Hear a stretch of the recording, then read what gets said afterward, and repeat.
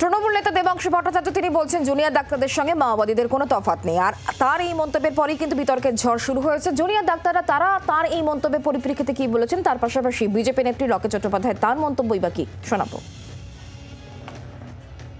ওনাকে আমি একটা জিনিস বলে রাখতে চাই।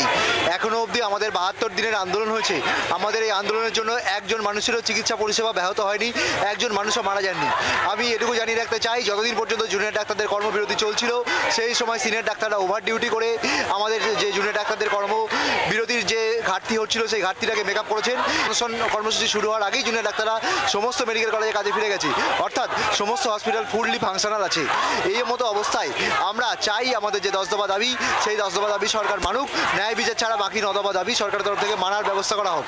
না হলে আমাদের যে দাবি, আমরা যেটা ঘোষণা করেছিলাম, জুনিয়র ডাক্তারের যে নেতৃত্ববৃন্দ ঘোষণা করেছিল যে বড় সড়ক আন্দোলনের পথে যাবে এমার্জেন্সি সার্ভিস বন্ধ না করা হলে কোনো মানুষ মারার মারা যাওয়ার কথা নয়।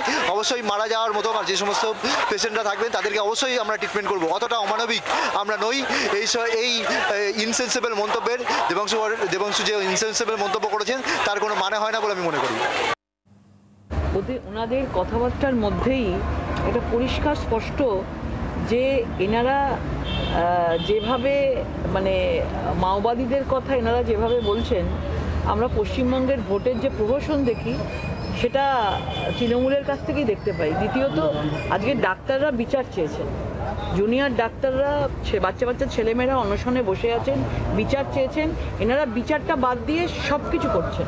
তাদেরকে মানে ছোট করার জন্য মানে দেবাংশুর মতন লোকেরা, তাদের কি অকাদ আছে যে, যারা আজকে এই জুনিয়র ডাক্তাররা কোভিডের সময় আজকে মানুষের কাছে ঈশ্বর মানে মানুষ তাদেরকে ঈশ্বর ভেবেছে সেই সময়। আজকে তাদেরকে এই ধরনের কথা বলা তাদের কোনো অকাদি নেই এই ধরনের সব মানে দেবাংশুর মতন ছেলেদের। বাংলার আওয়াজ, বাঙালির আবেগ। জি, চব্বিশ ঘণ্টা।